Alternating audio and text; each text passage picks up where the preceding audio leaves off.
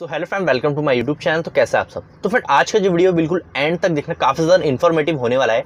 Friend बहुत से लोगों के ये क्वेश्चन होते हैं कि हमारे जो व्हीकल का टायर है, हमारी कार का जो टायर है उसे कितने टाइम में चेंज करना चाहिए? क्या इंटरवल हमें रखना चाहिए? और ये भी हमें सुनना है, ये भी हमें जानना है कि जो एक टायर होता है, उसके आके लाइफ स्पैन कितना होता है। मीन्स एक टायर को हम कितने साल चला सकते हैं या कितने किलोमीटर चला सकते हैं? तो एक्चुअल बात करूँगा, आखिर एक टायर की कितनी लिमिट होती है, कितने किलोमीटर की होती है, कितने साल की होती है, इसके बारे में सारी इन्फॉर्मेशन आपको दूँगा, जिससे आपको एग्जैक्ट पता चल जाएगा कि आपकी टायर की लाइफ अभी कितनी बची है, कब का टायर है और कितने किलोमीटर पे आपको चेंज कराना चाहिए और एक्सरसाइज सब। सो ज़्यादा टाइम वेस्ट नहीं करूँगा, मैं हूँ आपका दोस्त, आपका होस्ट अमान, बिना टाइम वेस्ट करके आज का वीडियो स्टार्ट करते हैं। अब फ्रेंड नॉर्मली अगर देखा जाए तो मैं एक आपको टायर की लाइफ स्पैन बता देता हूँ। अगर आपके ये व्हीकल का जो टायर है, वो कितने किलोमीटर चल सकता है या कितने साल में आपको चेंज कराना चाहिए, इसके बारे में बात करता हूँ। देन इसके बाद मैं आपको प्रैक्टिकल भी बताऊँगा। हम खुद आइडेंटिफाई करेंगे कि टायर की मैन्युफैक्चरिंग कब है, कितने किलोमीटर वो टायर चल सकता है। वो आगे का पॉइंट है, वो भी मैं आपको इस वीडियो के अंदर कवर करूँगा।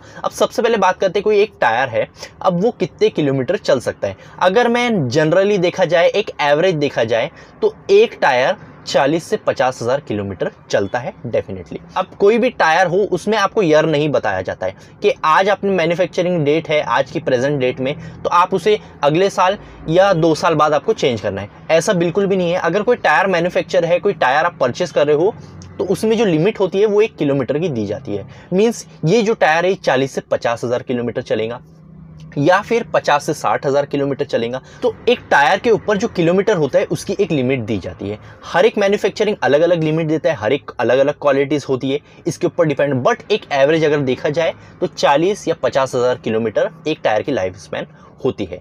अगर आज के डेट में आपने चेंज कराए हो तो 40 से पचास हज़ार किलोमीटर आप उस टायर इजीली चला सकते हो। ये नहीं, अब ये भी हो सकता है कि मैं 40 से पचास हज़ार बोल रहा हूँ कि ऐसा नहीं, ये हो सकता है कि पचपन हज़ार या साठ हज़ार किलोमीटर भी चल जाए। अब ये क्या है, ये आपके ड्राइविंग के ऊपर भी डिपेंड करता है। इसके बाद 40 से 50 तो मैक्सिमम चलता ही है, जो उसकी लिमिट दी गई है। लेकिन अगर उस टायर 40 से पचास हज़ार किलोमीटर पे भी अगर वियर आउट ना हो अच्छा कंडीशन है तो उसे आप और भी चला सकते हो। बट एक एवरेज अगर लिमिट देखा जाए तो चालीस हज़ार, पैंतालीस या पचास हज़ार इसकी लिमिट होती है। अब इसे हम कैसा पता करें? अब आपकी जो भी व्हीकल है, उसका आपको सबसे पहले टायर को इंस्पेक्ट करना है। अब टायर पे बहुत सी क्वांटिटीज़ काफ़ी सारा आपको चीज़ें लिखी हुई दिखती है। आपका टायर साइज़ होता है और कुछ कुछ और भी नंबर रहते हैं न्यूमेरिकल्स होते हैं। तो अब ये क्या है? तो सबसे पहले आपको सारी चीज़ें छोड़ देना है।